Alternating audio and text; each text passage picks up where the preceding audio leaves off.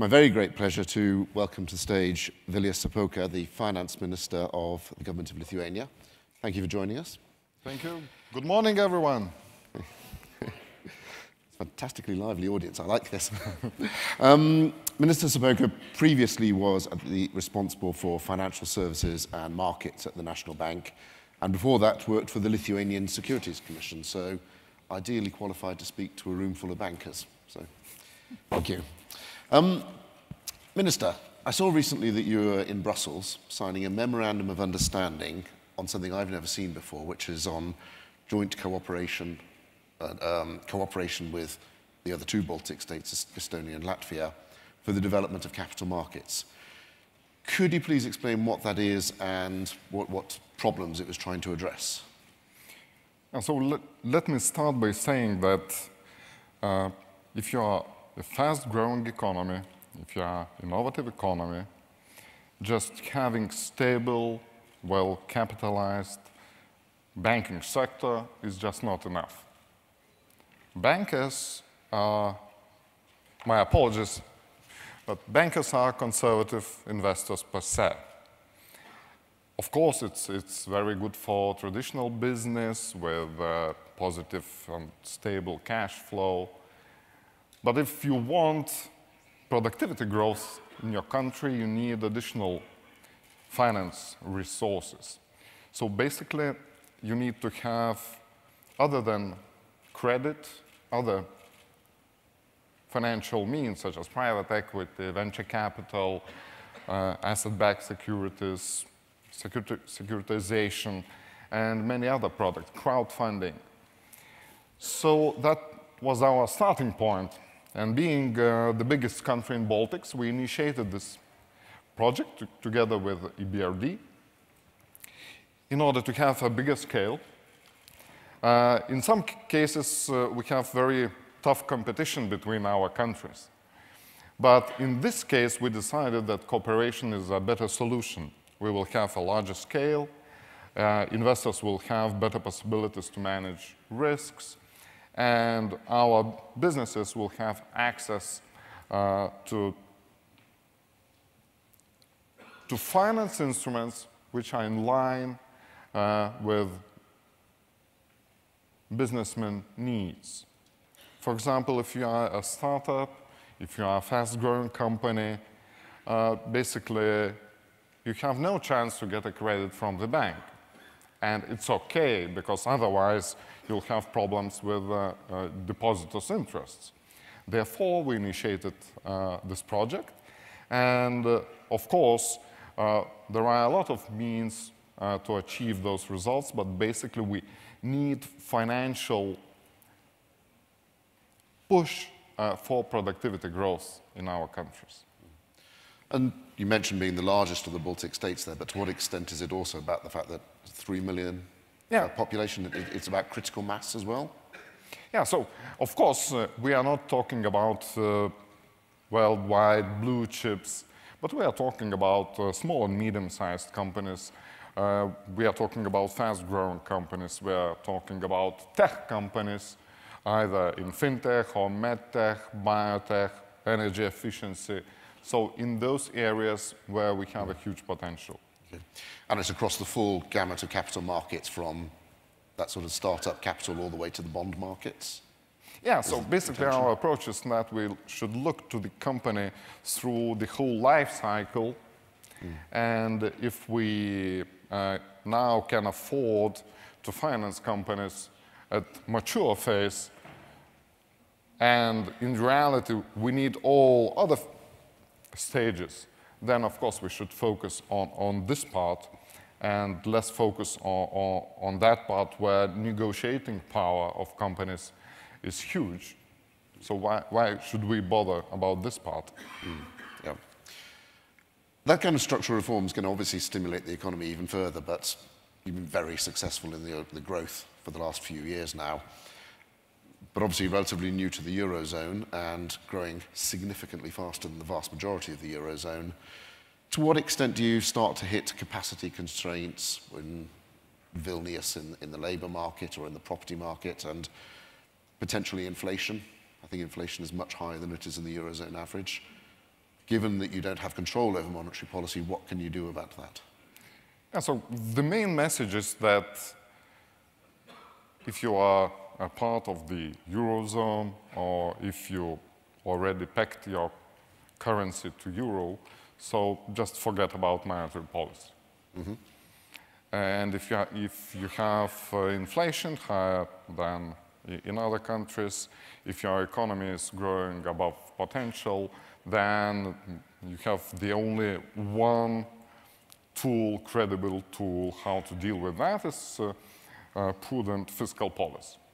So what we did in Lithuania, so uh, we did expenditure review of all major sectors. Uh, this allowed us to pool resources from those areas which are inefficient and ineffective. We set very clear priori priorities such as uh, reducing poverty, strengthening healthcare system, strengthening uh, regional policy, also giving additional resources and uh, to our national security, I mean 2% of GDP to in line with the NATO expenditure, and uh, we, now we are in line with uh, NATO commitments. And the final one is facilitation of productive investments. So those are the priorities. Mm -hmm. And of course, uh, money is not enough, but uh, when you uh, review expenditure, uh, I can assure you that money is not the problem. The problem is to set priorities right. Mm -hmm. you mentioned there the economy growing potentially faster than its potential. Is the economy capacity constrained? I'm thinking in terms of skilled workers or of course, there are some signs, but we're, we're dealing with that.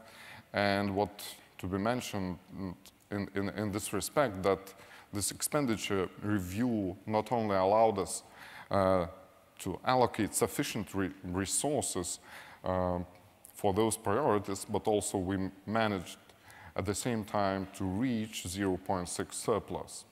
So this is, uh, that was done in order to push our aggregate demand down in order to avoid overheating of the economy. And one, aspect of it that I'm thinking, I think I'm right in saying that of all the European Union countries, Lithuania has the highest brain drain, the highest um, diaspora leaving the country. And as a resident of London, that's very clear. Can you address that problem? Is it, is it a structural problem for the economy? Yeah, to, to, some extent it is a natural process. So Lithuanians always were uh, trying to trying to search for happiness uh, in the world. And so last last month, it was the first month when we have um, positive balance in immigration and migration. So this is net migration migration. Yeah. Mm. So that is that is a good sign that mm. people are coming back. Also, we use this uh, opportunity uh, window in terms of Brexit. Uh, because people are looking for new opportunities outside because the station is not clear yet. And uh, now we are encouraging people to start their own business. To, it is worth mentioning that we introduced tax package, and this tax package is the best at EU level in the area of new technologies. For example, you can deduct expenditure for research and development by, three times. You can deduct from your taxable uh, profit all investments into new technologies, and basically uh, your profit tax will be zero. Uh, if you commercialize uh, inventions, then you will pay just 5% of profit tax. And so this package is, is the best. And uh, Lithuania is very quickly becoming a tech country. So sometimes I call uh, our country Litechnia because we have not only fintech, we have biotech, we have lasers, we have medtech, we have uh, energy uh, efficiency uh, companies. So uh, basically, if you want more productivity, you should search uh, for those very innovative fields where you can use your potential, where you can use talents in your country and attract talents uh, mm. from the rest of the world. There's a bit of a painful topic of Brexit for me as a Brit, but that's creating. we, we used to think that we were um, the hub for a lot of the fintech kind of industries. You're seeing a positive benefit from that? Absolutely. So uh, any tech area is like a game of uh, uh, puzzles. So what we did, we put puzzles in place and looked what, what, what is missing, and basically we filled those gaps. In the area of fintech, almost everything was in place. So Lithuania is number one in ITC. In Lithuania, we have the fastest uh, internet, fastest uh, uh, public Wi-Fi. So almost everything was there. Many people working in uh, IT industry, universities are preparing students for, for, for that area. Uh, many big names like Barclays, Western Union, NASDAQ, uh, and other Scandinavian banks, they have already their back offices uh, in Vilnius or, or, or, or, in Kaunas. So what we decided that if, you, if we review our legislation, if we make our licensing process quick, if we allow non-banks to access central bank's money for, for transactions, if we create newcomers program, if we attract people working in blockchain industry, then we can become uh, a center for fintech, not only in the region, but in Europe. And it, so a short period of time, uh, just a, a, bit more than one year, proved that we can be successful. Now, uh, payment institu num the number of payment institutions uh, tripled just in one year. Now we have uh, more than 100 new uh, fintech companies in Lithuania. Uh, so we have companies established from Israel, from Hong Kong, from the United States, from other countries. And uh, we are constantly reviewing our legislation and re removing any kind of barriers for, for this sphere. Our central bank, which is at the same time is supervisor and regulator, is supporting our initiative. And of course, there is a risk because mm -hmm. when you have innovations, uh, it is a huge risk. But you can uh, pretend uh, that there is no risk, or you can consciously accept that risk. What, what sort of risks do you mean there? I mean, um, those risks are associated with money laundering, with consumer protection, and, and things like that. Uh, but our approach is, it is better to help new businesses and work hand in hand, consult them, and know them from the very beginning. And this is the way how you can handle those risks. And it, it also proved that it can be a very successful way of, of uh, growing the industry.